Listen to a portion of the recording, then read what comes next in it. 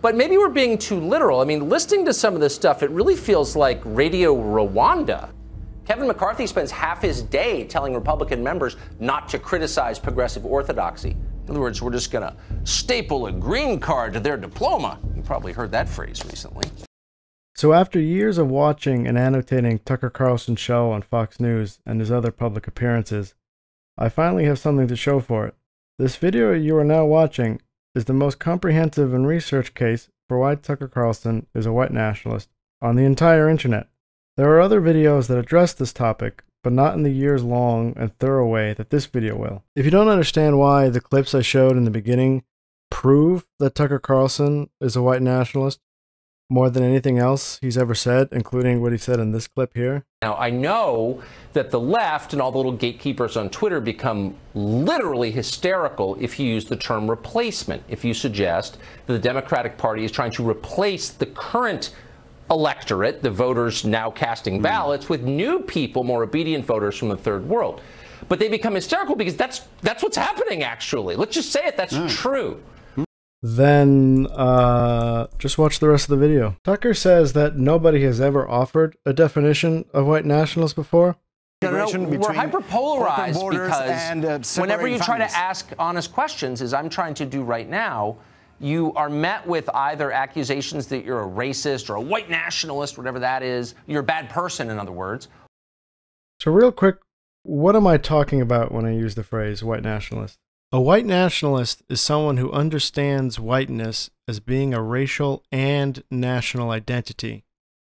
There is, or should be, a community of white people globally that share political interests in relation to other ethnic and national groups. This community has a moral right and or political interest in creating a state that serves primarily, if not exclusively, those same white people this national identity projects backwards onto dead people who may not have seen themselves as white while they were alive, as well as forwards on hypothetical white people who have not been born yet, but who still hold political, moral, and national value. The territory of the state should have a considerable majority of white people, if only for the security of the white state as a white state.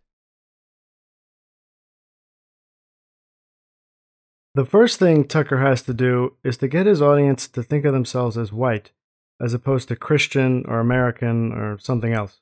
He has to make their whiteness a subjectively felt and experienced identity. Probably the most common way he does this is by creating a feeling that his audience is being treated unfairly, and that others, usually immigrants or Democrats, are being treated with favor by elites.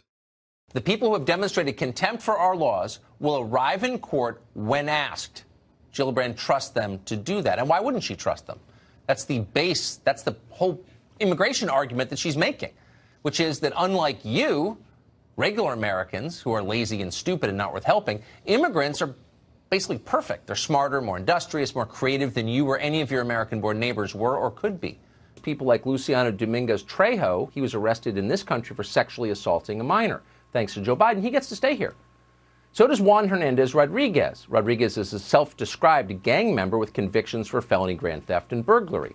He's been ordered removed from this country five separate times, but he's still here. Now he's staying. So is Atancio Areno Gutierrez, another convicted gang member, convicted of felony burglary. Also, Luis Rodriguez Jacobo, convicted of manslaughter. Santos Maria won't be going anywhere either. He was also convicted of manslaughter along with armed robbery. When Joe Biden tells you the real threat to our country comes from within, these are definitely not the people he's talking about. Of course, he's talking about you. Another trope that Carlson uses to create white identity through white resentment is through the idea of a lack of immigrant gratefulness. Immigrants should be grateful to America for having been charitable enough to allow them to live here, and the best way to express that gratefulness is to not criticize America or anything American. Congresswoman Ilhan Omar is an avatar for this on his show. Congresswoman Ilhan Omar, herself a symbol of America's failed immigration system, if there ever was one, someone who hates this country, coming here at public expense. Ilhan Omar is a person who clearly married her own brother in an immigration scam, who passionately hates the country that saved her, who reduces every conceivable issue to the most vicious kind of race baiting. Can a single human being actually be as loathsome as Ilhan Omar? It's hard to believe. She's like a parody of repulsiveness. Sometimes you doubt she really exists. The RNC must have created her. Here's Congresswoman Ilhan Omar just today. And if anyone should love America, it's Ilhan Omar. This country rescued her from a squalid Kenyan refugee camp and made her a national figure, quite an ascent. But Ilhan Omar is not grateful. She hates us for it. Immigrants are a burden in the mind of Tucker's audience. So when one is allowed in and doesn't express gratefulness and submission, it is an affront to his mostly white audience. A sense of being wronged is a powerful tool in establishing shared identity. We have all suffered together, and they are privileged, preferred, and have benefited at our expense. One of the most common themes on Tucker Carlson tonight is the absurdity with which the word racist is sometimes used. But Carlson clearly goes beyond just mocking the word's overuse. He goes out of his way to reassure his audience that they and their beliefs, and those of Tucker, are not racist, and it is dumb to suggest otherwise. This constant reassurance is designed to give his audience resilience to the name calling that they may be exposed to, and if they aren't, make them feel like they're being name called anyway, and assure them that there is nothing wrong with them. This makes it easier for them to move past what Tucker is saying on the surface and move into more explicit white nationalism, because they've built up such a high tolerance to being called a racist. Tucker takes the stigma resistance further by denying that white supremacy and nationalism are problems at all, or even coherent concepts. But the whole thing is a lie. If you were to assemble a list, a hierarchy of concerns, of problems this country faces, where would white supremacy be on the list? Right up there with Russia, probably. It's actually not a real problem in America. The combined membership of every white supremacist organization in this country would be able to fit inside a college football stadium? I mean, seriously. This is a country where the average person is getting poorer, where the suicide rate is spiking. White supremacy, that's the problem. This is a hoax. We won't ignore what our intelligence agencies have determined to be the most lethal terrorist threat to the homeland today. White supremacy is terrorism. We're not going to ignore that either. My fellow Americans, look, we have to come together to heal the soul of this nation. we have to come together to heal the soul of the nation by attacking our fellow Americans using a phrase no one will define. What does coming together mean? Well, it means because of a concept called white supremacy, again, a phrase the left endlessly invokes but never defines, your civil liberties have now been suspended. By the way, the whole point of the Derek Chauvin trial was to inform you of that. This denial, paired with the stigma countering exercises, makes it sound reasonable when he refers to white nationalists who organized the Unite the Right rally in Charlottesville, Virginia, as conservative activists, as he does in chapter 4 of his book. Destigmatizing racism and the word racist makes these ideas more approachable. If you read that Richard Spencer is a mere conservative activist, and have been primed not to take the word racist seriously, then you can begin to consider his ideas more seriously. Destigmatizing racism and referring to white nationalists so flippantly is Tucker ensuring that the gateway to white nationalism stays wide open for viewers of his show. Demographic change. This is the tofu and potatoes of Tucker's white national signaling. It also comes and goes in waves and it isn't uncommon for him to not reference it for a week or longer. But it'll always come back, and he's been making this topic much more aggressively in the last month or so. Here's another clip barrage. Recently, we told you on this program about the wave of demographic change that has transformed the city of Hazleton, Pennsylvania. In the year 2000, Hazleton was less than 2% Hispanic. Today, thanks to mass immigration, Hazleton is majority Hispanic. More than half of the residents there speak a language other than English at home. How many poor people can we realistically accept before we're not that rich at all, but increasingly resemble the countries from which these people are fleeing? Instead, our leaders demand that you shut up and accept this. We have a moral obligation to admit the world's poor, they tell us, even if it makes our own country poorer and dirtier and more divided. Uh, as you may have guessed, he also talks about demographic change a lot in his book. Carlson writes in the introduction to his book This is good news for the leadership of both political parties. Democrats know immigrants vote overwhelmingly for them, so mass immigration is the most effective possible electoral strategy. You don't have to convince or serve voters, you can just import them. He continues later on the page What was the effect on the country? Thanks to mass immigration, America has experienced greater demographic change in the last two decades than any other country in history has undergone during peacetime. Our elites relentlessly celebrate those changes, but the very scale destabilizes our society. If you grew up in America, suddenly nothing looks the same. Your neighbors are different. So is the landscape and the customs, and very often the languages you hear on the street. You may not recognize your hometown. Human beings aren't wired for that. They can't adjust change at this pace. It disorients them. Over time, it makes even the most open minded people jumpy and hostile and suspicious of one another. It encourages tribalism. He returns to this theme again in Chapter 2. Speaking on changes in American immigration law, Carlson writes In the 2016 Democratic platform, the party refrained immigration from a debate about economics to the next frontier in the struggle for civil rights and social justice. Any references to the effect of immigration on American citizens were deleted. According to the Democratic Party, the goal of immigration policy was to ensure the well being of immigrants. The current quota system, the platform explained, discriminates against certain immigrants, including immigrants of color. It's hard to think of a claim more at odds with numerical reality.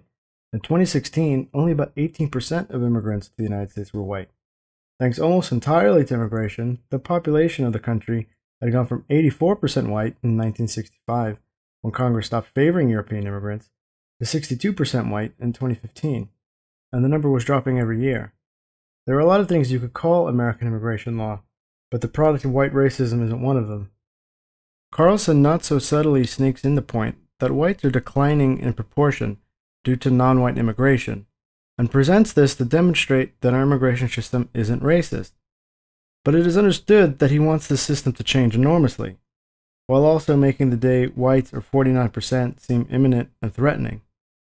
He also sidesteps historical European immigration in his book, and again at Politicon 2018. The Irish were first coming in, they were dirt poor. They were uh, escaping a famine. The Italians, dirt poor. The Jews, dirt poor. Under your logic, would we not have kept them out? Well, no, because this is a sit. Hold on, this is a sit. This is a situational. Before you applaud too vigorously, I can win you. Listen, it's a situa- It's a situational decision.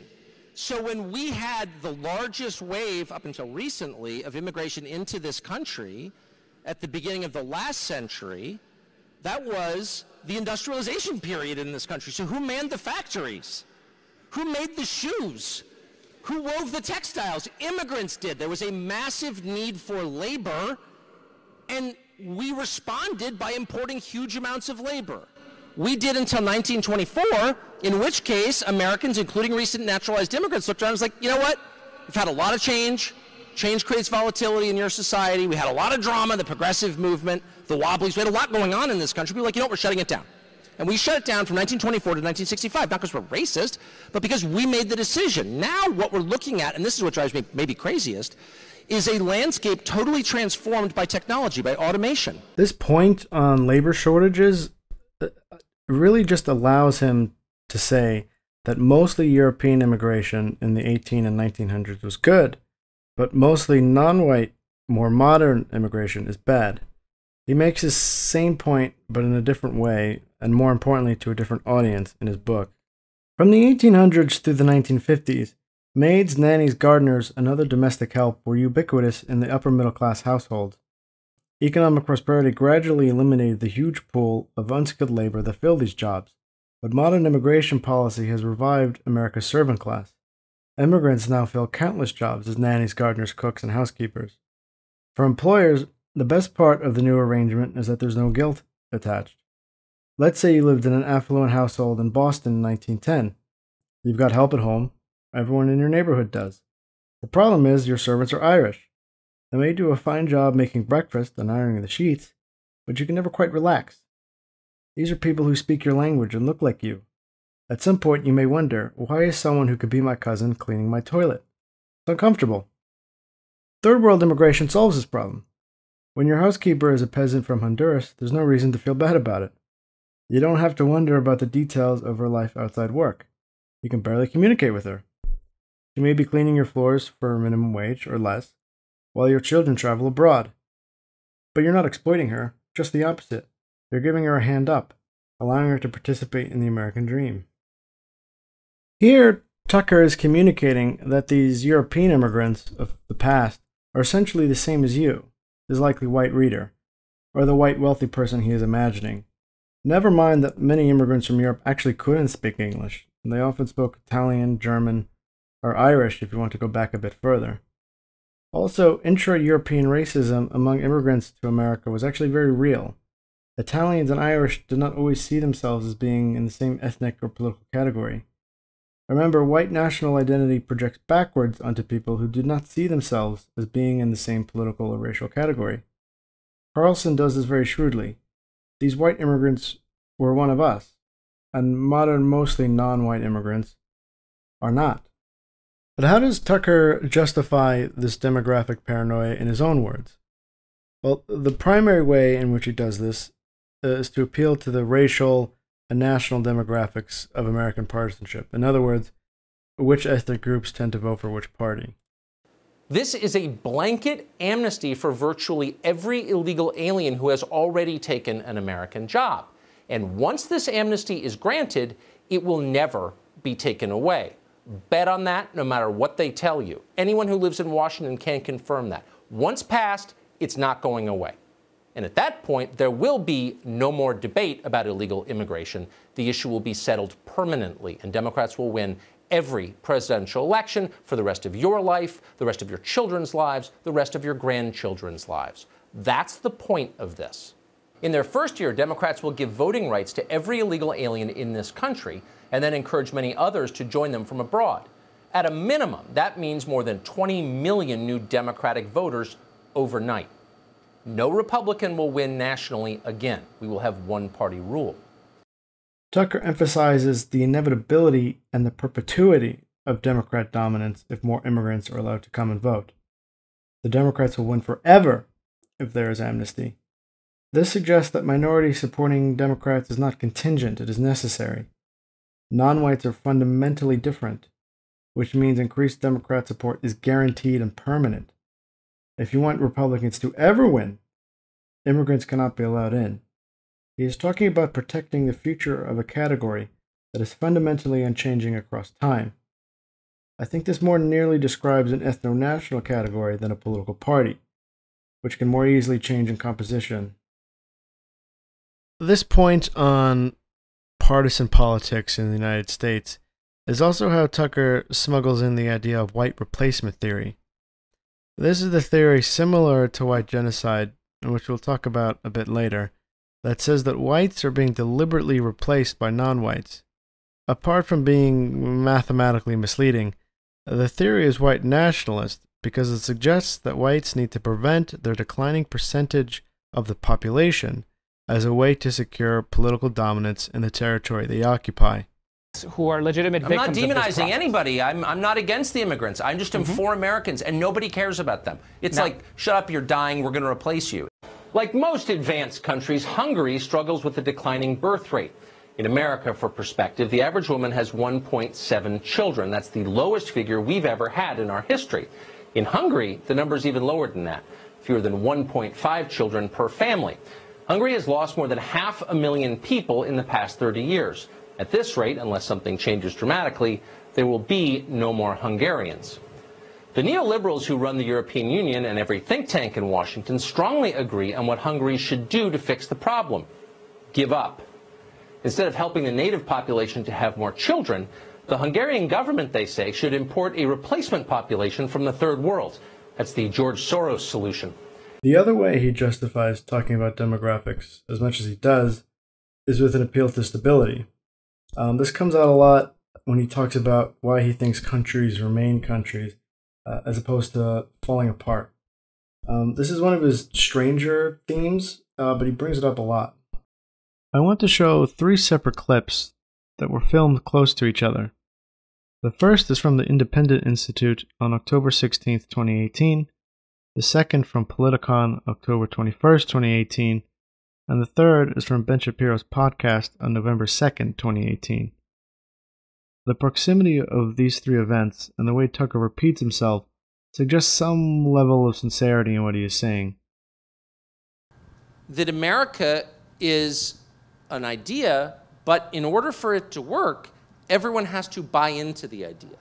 It's just a reminder that if you want to have a country that's cohesive, that doesn't fall apart and wind up at war with itself, you need to find a unifying belief that everyone buys into and new arrivals are required to buy into. And I think the Bill of Rights is a good place to start. I'm just saying the very most obvious thing, which you must have something in common with everyone else in your country, or why would you be a country? And if you don't think that, you haven't thought about it very much. That's all I'm saying. Work. I mean, countries don't hang together by accident, particularly large, diverse ones that don't have a majority in any category. So there's no, if you don't even have a shared language or history or culture, you know, why would you coalesce, you know, why would you remain united as a country? And the answer, which I actually believe in, is that you could hang together around a common idea, a common set of beliefs. You know, here's what we're all for. You know, there's certain things that you think are just basic to being American. What are those common ideas? I mean, I guess I'd start with the Bill of Rights. I mean, that's not hard. Do you know what I mean? Since it is a founding document, it's the foundational document. These clips actually offer some of the strongest evidence that he is not a white nationalist. He offers some alternatives to national identity besides race. He emphasizes the English language, political values, especially the Bill of Rights, but we can also see that he doubts these forms of identity are sustainable in the long term that America is an idea, but in order for it to work, everyone has to buy into the idea. And as I age, I understand the weakness inherent in that system. It can work, but you have to be really thoughtful about it. That you could hang together around a common idea, a common set of beliefs. You know, here's what we're all for. But our ruling class, and I do think this is the least responsible, the most reckless thing they have done, is they have not only failed to come up with what that set of common beliefs is. They have argued against the fact that it should exist. So, in introducing these alternatives, he is also undermining them. Values and language based unity are vulnerable, he says. But we still need a majority in something. It should be noted, though, that when he does explore the idea of why populations don't fall into civil war, the forms of unity he emphasizes aren't racial. This is one of the more puzzling themes of Tucker Carlson, this why countries stay together thing. And if I ever interviewed him, this is probably what I would want to get to the bottom of first. Besides that, there are some other reasons to fairly doubt that Tucker is actually a white nationalist. So, look at the numbers. They never look at the next set of numbers, which is okay. Just just take out white voters and just ask Latino voters or African American voters. Do you think we need a ton more immigration? And we need like maybe we have about 1.1 million a year people coming in legally now. Let's double it to two. How would you feel about that? They're not for that at all. What are they for? They're for what everybody is for, which is the ability to raise your own kids. If you want to win new voters to your party, stop with the identity politics crap and go with the universal appeals that, again, by their nature, appeal to everyone. And chief among them is the freedom to raise your own kids. Hispanic voters are not for open borders, actually, at all. And it's patronizing. Indeed, it's probably a species of racism to assume that they are. You know what they're really for? Way more than white voters, even? Getting to raise your own kids. Do they get to do that? No, they can't, because they can't afford it. Same with African American voters. So it never occurs to the geniuses on the Hill if you're making a play for non traditional Republican votes, maybe you should take a non traditionally Republican position on something. And why wouldn't it be a pro family position in favor of raising your own children? Well, focus group experts say it's because of shifting demographics, and the GOP must win over more minority voters in order to survive, particularly Hispanic voters. And that's probably true. So it turns out that opening the borders is not the key to winning the Hispanic vote. So, what is the key? Well, maybe allowing parents to raise their own children. How about that? Turns out Hispanic voters are for that passionately. One Pew survey showed that 73% of Hispanic Americans believe it is better to have one parent stay at home to raise children rather than having both parents work. But if this is all I had, I would still probably say that the evidence that Tucker is specifically a white nationalist, as opposed to a non ideological bigot or something, is inconclusive, if not dubious. But certain white nationalists and supremacists loved Tucker Carlson. The editor of the Daily Stormer, Andrew Anglin, praises him frequently. Nick Fuentes, who at this point is one of America's most influential white nationalists and a scheduled speaker at the Unite the Right rally in Charlottesville, also believes Tucker is an important ally. This is a segment from his nightly show America First, just so you can get a taste of his content. Max says if I take one hour to cook a batch of cookies and Cookie Monster has 15 ovens, working 24 hours a day every day for five years, how long does it take Cookie Monster to make 6 million batches of cookies? I don't know. That's a good question. Certainly, uh, oh, no, no. It doesn't really sound correct to me. Wait a second. It takes one hour to cook a batch of cookies, and you have 15 ovens, pr- probably in four different kitchens, right? Doing 24 hours a day every day for five years. How long would it take you to make 6 million? Hmm, I don't know. It certainly wouldn't be five years, right? Uh, the math doesn't seem to add up there. The math doesn't quite seem to add up there. I don't think you'd result uh, in six million, maybe two hundred to three hundred thousand cookies, and I think the Red Cookie Association said something like that, probably two hundred to three hundred thousand cookies baked, probably. And in addition, you know, in this hypothetical, I imagine that if you took aerial photographs over the kitchens, you would need to see certain smokestacks to release the smoke from baking the cookies, and the smokestacks would project certain shadows, but I guess they're not visible in the aerial photographs taken over the kitchens.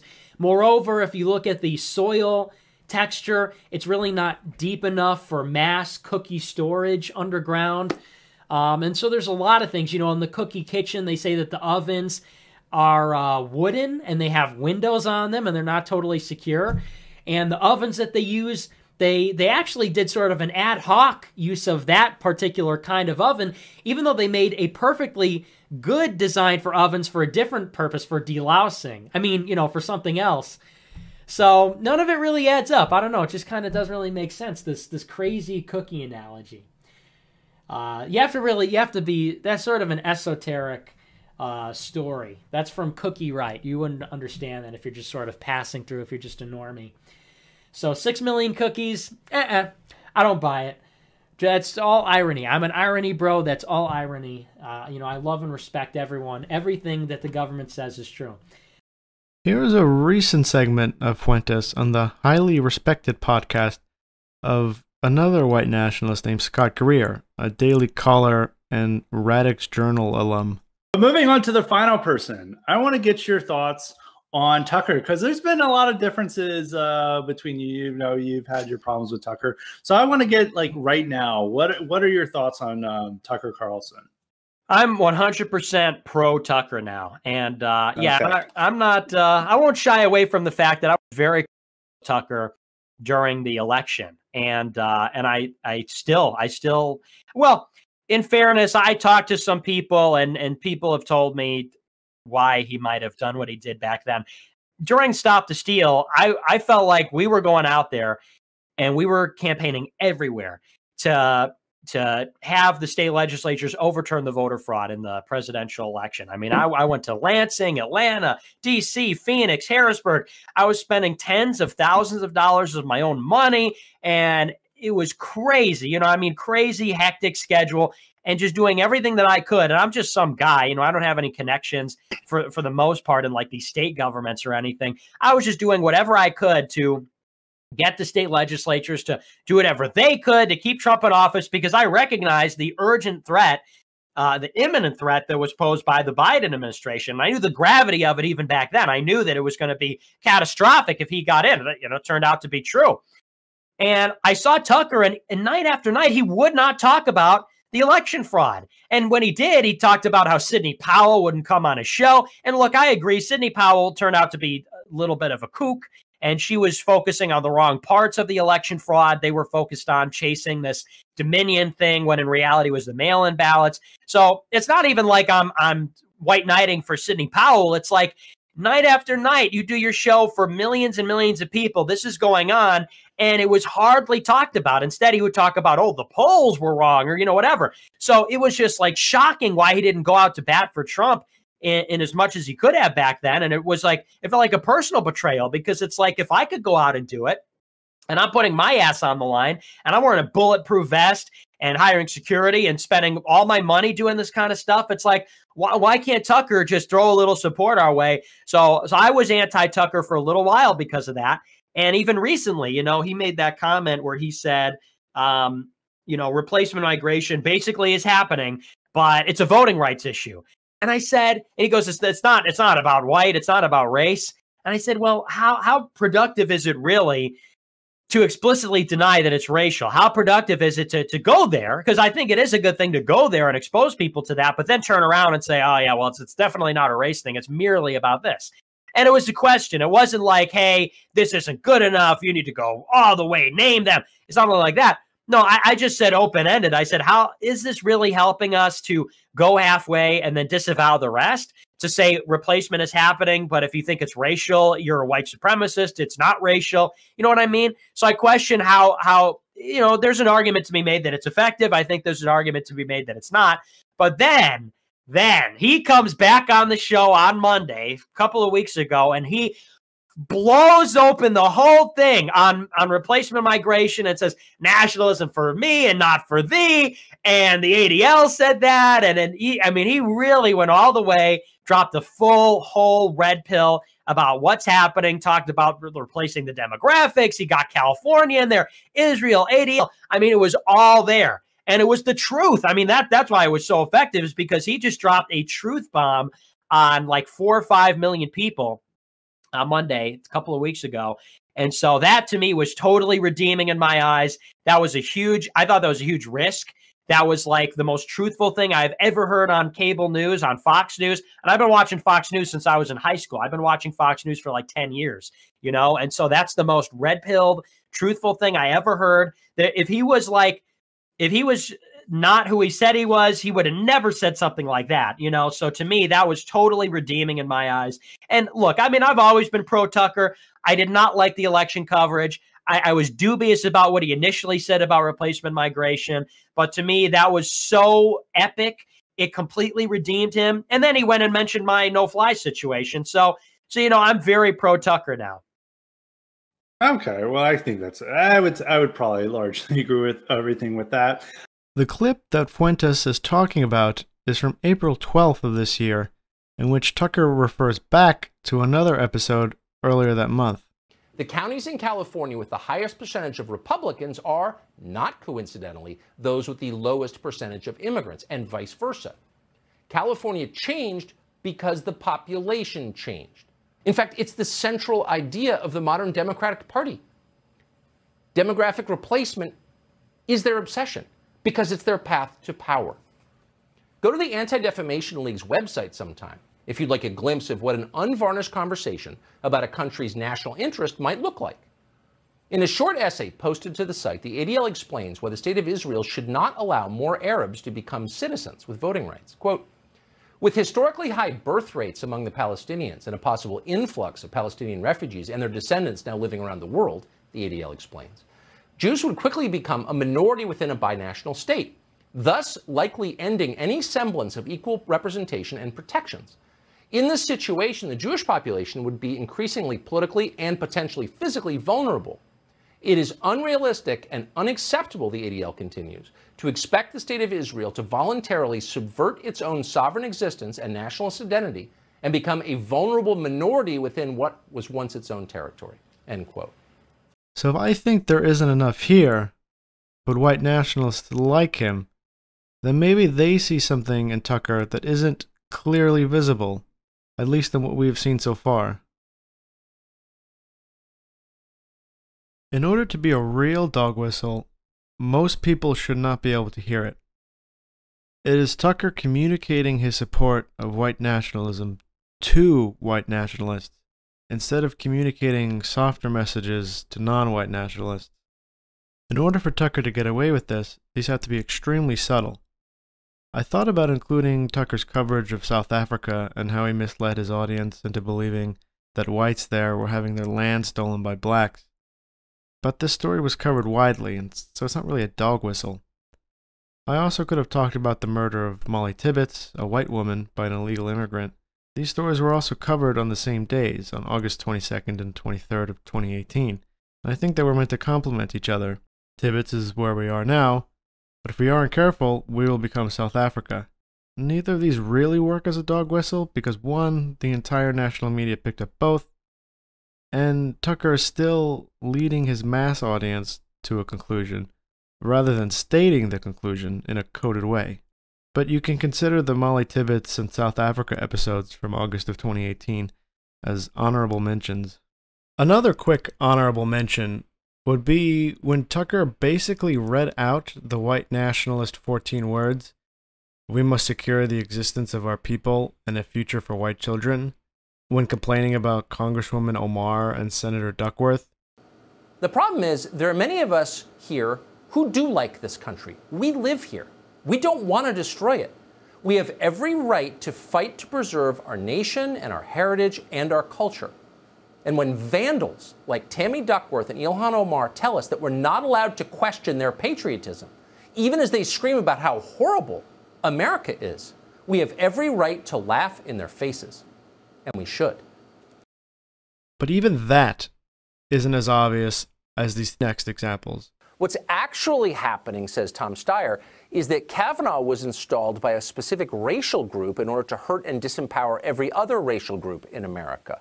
This is tribal warfare posing as democracy, and your tribe is losing. That's what Tom Steyer is telling you. Now, as a factual matter, this is insane. It's the kind of lunacy that would have gotten you booted off a cable channel five years ago. It's also a lie and it's dangerous. It's exactly the kind of thing that Hutu leaders in Rwanda were saying in the early 1990s. Watch it, look, obviously it's easy to say, you were wrong, you should admit it, apologize. But maybe we're being too literal. I mean, listening to some of this stuff, it really feels like Radio Rwanda. It feels like the media trying to gin up. I'm serious. Like, why are they doing? Why are they doing this? Why is it so important to prove that America is a bad place and that NASCAR fans are racist? Tucker mentions Radio Rwanda, a Hutu supremacist radio station that helped incite genocidal violence against the Tutsis in the 1990s. The other remark that this is just like the Hutus in the early 1990s refers to the same historical period and to the same genocide. There is no other way to interpret what Tucker is saying here other than the white genocide is either a serious risk in the future, imminent, or already happening. In the context of the videos, he can only be analogizing Tutsis to white people and Hutus to non whites.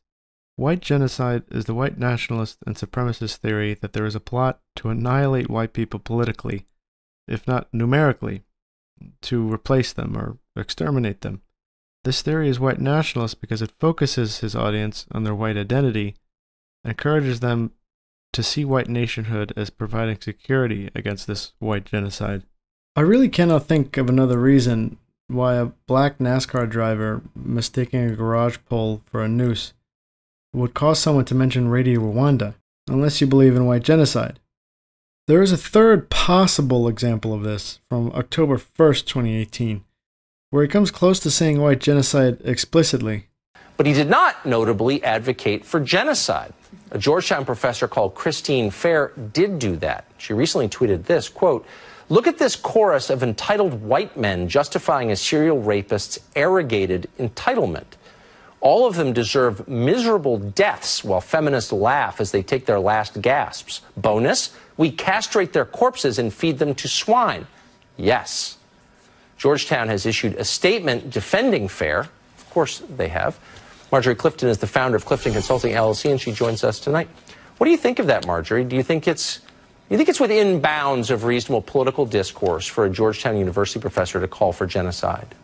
That clip comes just seven days before the this is just like the Hutus in the 1990s remark, and is also in the context of the Kavanaugh hearings. That makes me think that the subject of white genocide was probably just on his mind in early October 2018, and he wanted to smuggle it in wherever he could.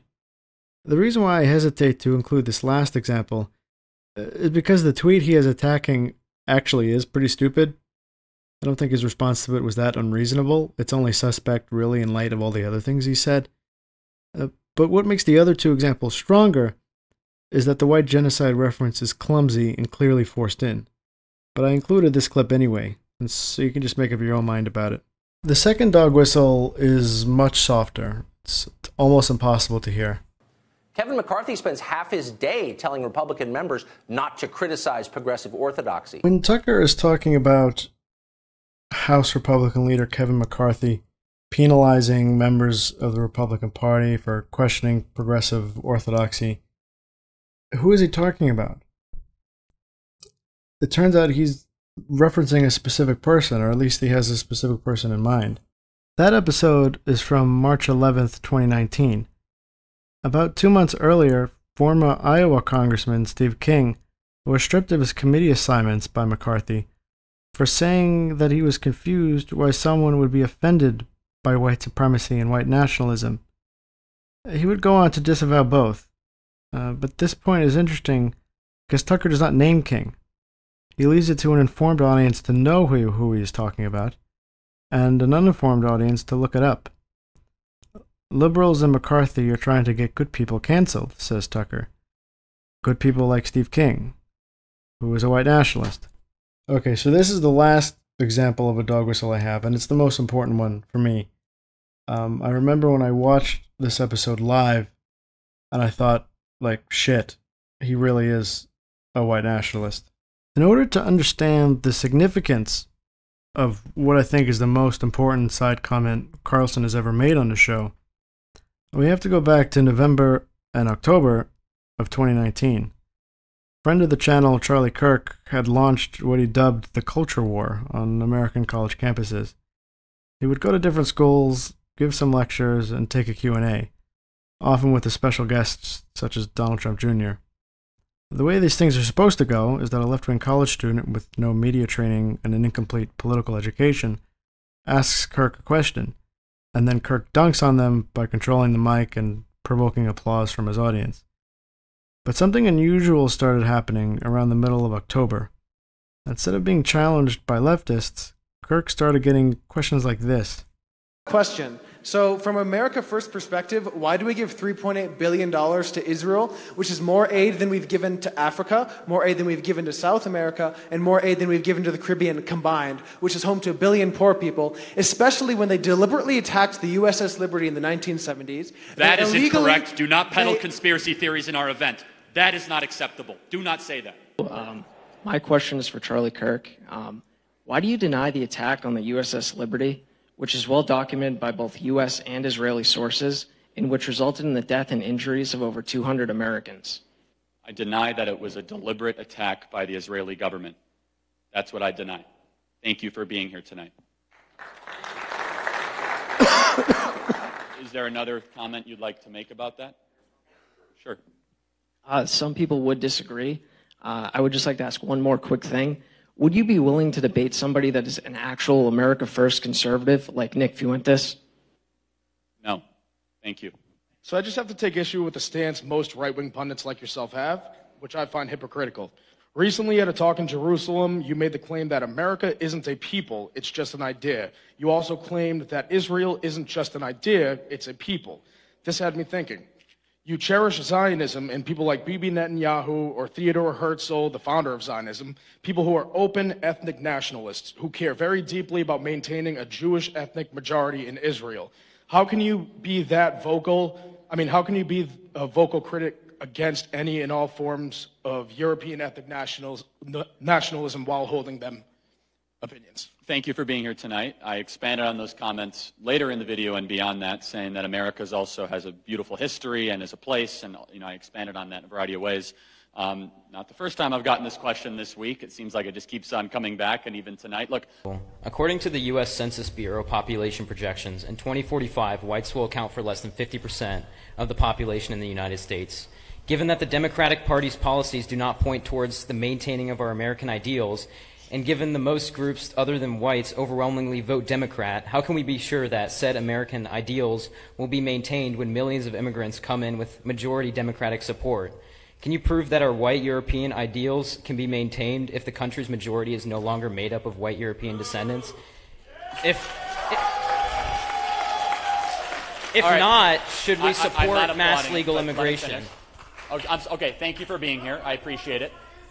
Uh, let me let me let me let me answer, I guess, your question with my perspective. I've been asked this a couple times in the last week and a half. That, oh, how are we going to keep the white status of this? I find that to be a racist question. I reject the idea behind it. I do not think America should become a white ethno state as a country. In fact, I think that is a fringe perspective. I appreciate you being here, and I'm going to rationally push back against it every single time I come in contact with it. As Thank you you for coming tonight. I appreciate it. So my name is Patrick Casey. I'm an American nationalist and America First patriot. And thanks, guys. So, and despite all of that, despite my ardent support for the president and his policies, I was actually kicked out of CPAC earlier this year. But I didn't kick you out of this event. no, no, no, I'm not going to blame. I'm not Okay, going to blame you. just I'm making gonna blame, sure. Yeah, yeah, yeah, you're very defensive here. I get that. Um, as was my good friend Nicholas J. Fuentes, whom I believe we, you were just discussing up there. But look, I'm not going to blame Wait, you for that. I- I just vis-a-vis. want to I've make got sure. a question here. Is that the Um, troll that keeps tweeting about He's me not a troll. He's a very intelligent guy who has a lot to say. He's somewhat of a troll, but Well, trolling's he's- a he very fine- seems to Anyway, be getting a lot of you guys to say stuff for him tonight. So This Q&A battle will go on at least until November 12th. This span of a few weeks would be known as the Groyper War by those who participated in it. It was cheered on and partially organized by the previously mentioned white nationalist Nick Fuentes.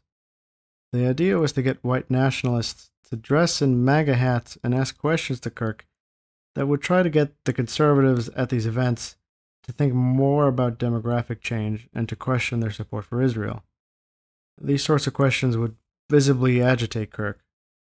But why does this matter? Well, during the Groyper War, Charlie Kirk had a line that was unpopular with the Groypers, or the people who affiliated with Nick Fuentes. He said at least twice that immigrants who graduate from American universities should have a green card stapled to the back of their diploma, meaning that foreign graduates would have legal residency in the United States. that if you graduate from a United States university with a skill, upon graduation of your diploma, we should staple a green card behind your diploma. The Groyper War was a fight over influence in the Republican Party between mainstream conservatives like Kirk and white nationalists. On November 11th, 2019, while the war was still happening, Tucker showed not only that he was aware of the Groyper War, he also took a side. The program allows foreign students who studied American universities to stay in the country after they graduate. In other words, we're just going to staple a green card to their diploma. You probably heard that phrase recently. And since employers who use F 1B visas are not required to pay payroll taxes, they get, in effect, a tax subsidy for hiring foreigners over U.S. citizens. How's that for America last? So he talks about the green card diploma thing and says you might have heard of that recently. Where might a viewer of Tucker Carlson tonight have heard that recently? Only one place. At recent Turning Point USA Culture War events, where the Groyper War was taking place. Tucker also says, How's that for America Last? with a quick head nod as if to signal something. America Last is a reference to Nick Fuentes' nightly show called America First, in which he promoted the Groyper War and gave people advice on what kinds of questions to ask. What Carlson said was also understood at the time by white nationalists as being a direct signal of support, and they were ecstatic about it. They immediately understood the importance of what Tucker had said. And so did I. And now, so do you.